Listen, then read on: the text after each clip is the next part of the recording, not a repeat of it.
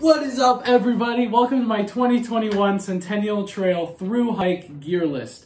Um, in this video, I'm going to give you a little bit of an introduction to the trail, some backpacking terminology and definitions that will help you better understand me and most of what this video means, and then we will go through the final gear list for this video. So, let's get into it.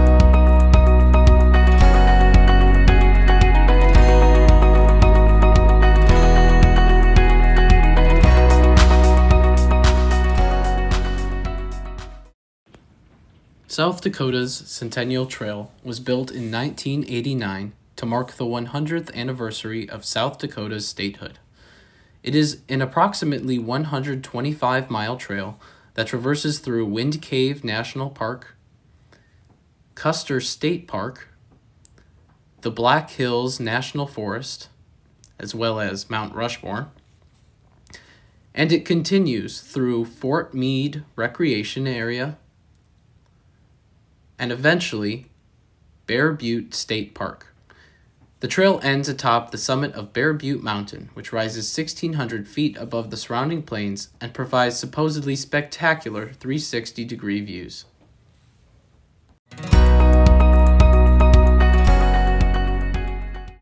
Alright, so before I get to my final gear list, there are two terms that I want to talk about really quickly to help those who aren't backpackers kind of better understand how we measure things, how things work. So um, the first of those words is consumables.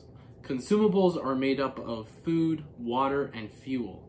And those are things that backpackers don't usually include in their final pack weight because they tend to vary as you hike down the trail. Um, you eat food, you drink water, you use up fuel with your stove, and those things can vary in weight. Obviously, they're going to get less and less as you go down the trail.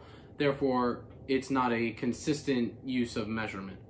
Um, and then the other term is base weight. Um, base weight is exactly the opposite. It's all of the gear and the pack that you carry minus the consumables. Um, in backpacking, there's kind of like three main levels of backpacking. And of course, there's small in-between areas, but um, it basically boils down to this. Um, if you're about 20 pounds or heavier base weight, that means no consumables, you are considered just an average backpacker. If you are um, around 15 pounds or less base weight, you're considered a light uh, backpacker. And if you are having a base weight of 10 pounds or less, you are considered an ultralight backpacker. Now, it all boils down to however you feel about backpacking, um, whatever you're most comfortable with, um, how much gear you want to bring, etc., etc. Um, but there's benefits to every single category. In my case, I am an ultralight backpacker, and that for me was a choice I made basically because um, I wanted to be able to make sure that I could go farther, I could go faster, and I wouldn't get as tired as quickly. So, with that, let's get on to my final gear list. Up first, we have the big three, made up of the pack, the shelter, and the sleep system. My pack for this trip is going to be the Osprey Exos 48 liter pack. And inside, I will have a Nylofume waterproof pack liner, which is essentially a tough plastic bag. Next in the big three is the shelter, my shelter for this trip is the Nemo Dragonfly one person tent, which is a freestanding double wall tent. In other words, it uses tent poles instead of trekking poles, and it has a separate rainfly as opposed to being one piece of material. Along with the tent are my Nemo Dragonfly aluminum poles. And finally, the stakes I will use to keep the tent from flying away are 8 MSR mini groundhog stakes, which are each 6 inches long. The last of the big three is the sleep system. Up first is my sleeping bag, the REI Co-op Magma 30 degree sleeping bag. I've tested this bag in temperatures down to 25 degrees and have remained pretty darn warm and cozy. Up next is my pillow. I will be taking the Sea to Summit Aeros Ultra Light Pillow. It blows up in two breaths and has a one way air valve to help inflate faster. It is extremely comfortable as the shape of it fits nicely under the head in any position. It also tucks nicely into the hood of my sleeping bag. My sleeping pad for this trip is the Nemo Tensor Insulated Sleeping Pad. I have the regular version, which has an R value of 3.5. R value is the rating system used to grade a material's insulating properties. The higher the R value, the more warmth you get.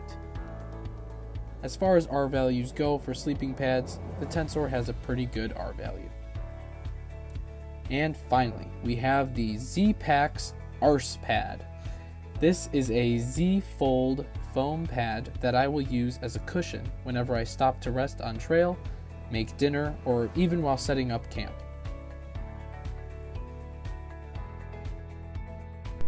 Alrighty, next up we have my cook system. Starting it off is the Toaks 750 milliliter titanium pot. This pot has collapsible side handles, as well as a lid with a pop-up handle to prevent burns when taking it off. Inside are measurement markings to help with correct ratios of water to whatever food is being made. The stove I'll be taking on this trip is the BRS 3000T mini collapsible stove, and I will light it with a mini Bic lighter with some duct tape wrapped around it. The boil time for the BRS 3000T is approximately 4 to 5 minutes, and my Toaks 750 milliliter pot fits nicely and is very stable on top of the stove.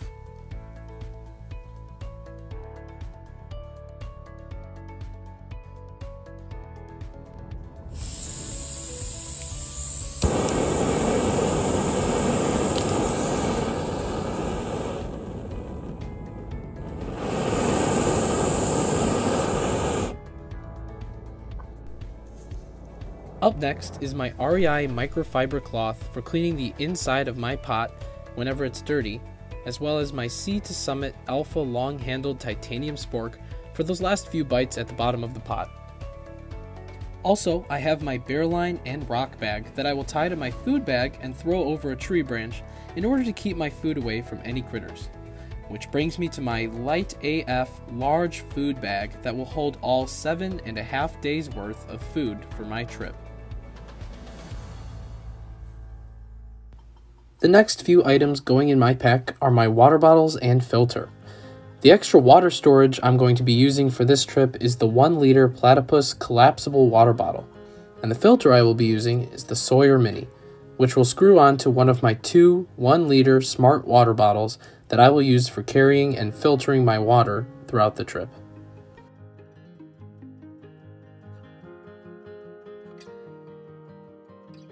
And now it's time for everybody's favorite topic in the whole world the bathroom.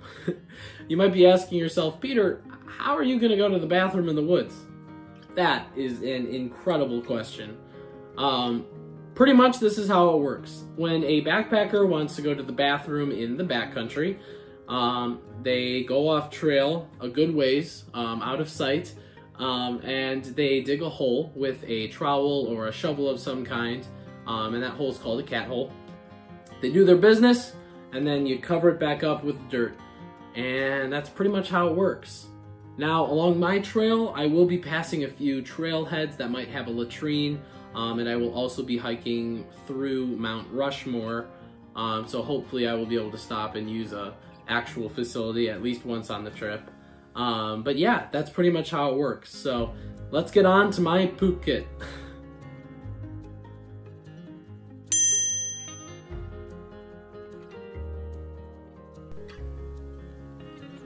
My poop kit for this trip is made up of my Deuce of Spades trowel, which I will use to dig my cat hole in the backcountry, a roll of toilet paper that I hopefully will not have to use as much,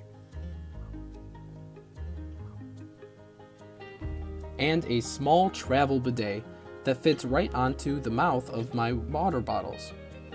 I recently purchased the bidet in an attempt to use less toilet paper and leave no trace, so as to ensure that many other people can enjoy the trail for years to come.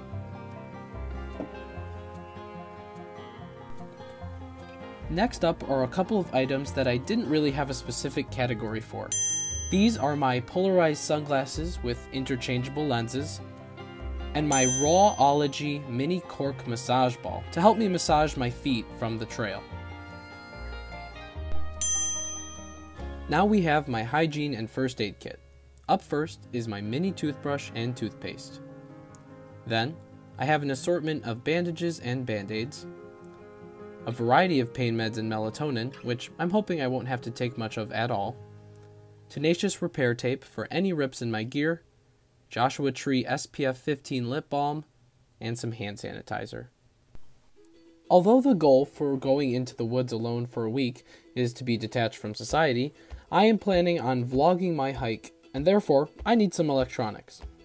These include my iPhone 11 and a lightning charger for recording videos, an Anker power bank with 10,000 milliamps hour, a quick charge outlet charger, a micro USB cord, my Apple AirPod Pros to ensure that I have a good microphone for my videos, and my Nitecore NU25 headlamp with modded shock cord.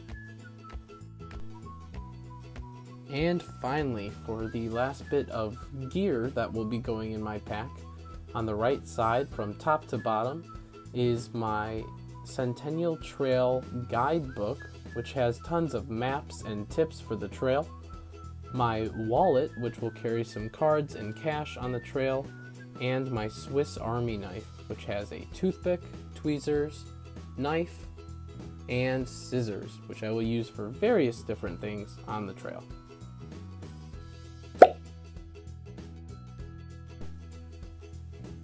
Alright, the first part of all of my clothing for this trip is the clothes that will normally live inside my pack for the most part.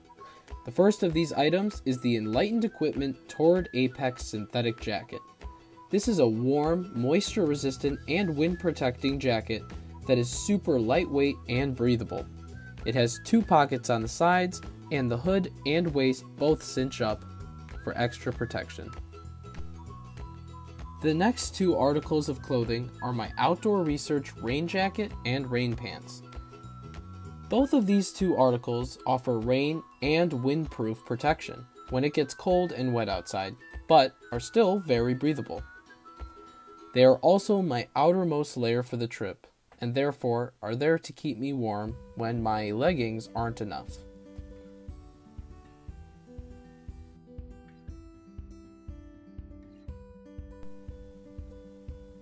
Speaking of leggings, my next article of clothing are my Nike Pro Super Warm Active Tights. I will put these on when it's cold enough that my shorts aren't quite cutting it anymore and I need some extra protection on my legs. Which leads me into my next item, which are my 5 inch running shorts with a liner. Um, this is a generic brand that I bought off of Amazon. I like shorts more than any kind of hiking pants because I like the freedom of being able to move my legs more. Um, and I have one of these pair in my pack at all times as an extra pair, and then I will also be wearing a pair.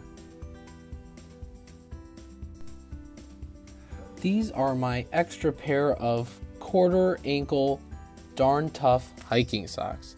These are flat out the best socks ever made for hiking on a trail and they have a lifetime warranty so if you ever put a hole in them you wear them out too long you can actually bring them to a local dealer of these socks and they will replace them for free no matter what for the rest of your life. So it's a pretty great deal to have these socks. I wear a pair on the trail and i have an extra in my bag and the last piece of clothing I have in my bag pretty much at all times are my Smartwool Heavy and Warm Sleep Socks. It's pretty self explanatory. All they are is really warm socks that I wear to bed when it's cold outside. The second part of all of the clothing I will be taking on this trip is my worn clothing. Up first, we have this Columbia hiking shirt, which has a special odor barrier fabric to help me prevent myself from smelling too bad on the trail, as well as a moisture wicking fabric to help keep me as dry as possible. It also has roll up, clip up sleeves to help keep my arms as cool as possible, as well as venting in the back. Next up is my Patagonia Capilene Air Hoodie, which is a warm but still very breathable layer that I wear over my hiking shirt.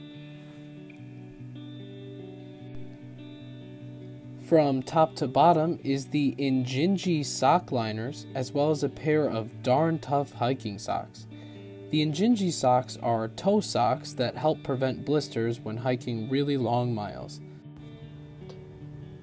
Up next, I have a pair of lightweight gloves, an Appalachian Company alpaca beanie, which is made out of alpaca wool and has a special property in alpaca wool that keeps insulating even when it's wet.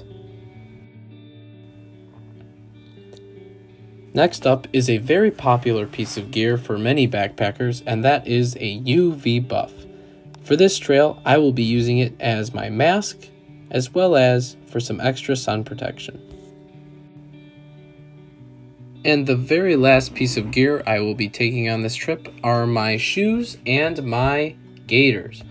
My shoes for this trail will be the Altra Lone Peak 4.5 Trail Runners with Superfeet insoles because I have high arches.